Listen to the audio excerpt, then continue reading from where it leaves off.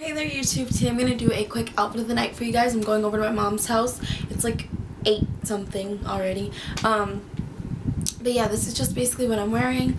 Um, let me start off. My hair is just quickly waved, not curled or anything like that, just quickly waved. I ran the curling iron through it really quick.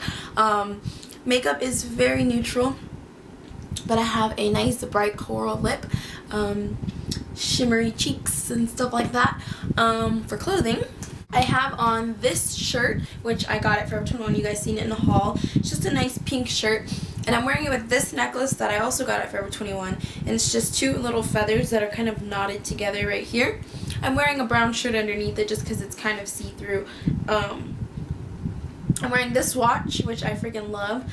And um, Carlos got it for me. I've been wanting it. And so I'm wearing this watch. Just a little brown watch super cute. Um, nothing else except for the ring that I always wear. I'm wearing dark jeggings. You guys couldn't even see my shoes. I'm wearing these Gladiator sandals. They're just little brown ones. And everything is from Forever 21. The jeggings and the sandals are all from Forever 21. Oh, and I forgot to tell you guys these little earrings right here, these little bad boys, are also from Forever 21. You saw them in the haul. So basically it's like a Forever 21 outfit. Just to give you guys kind of a quick glimpse, um, this is the makeup. Like I said, it was neutrals coral lips, and these are the earrings in case you guys couldn't see them that far away. And the watch.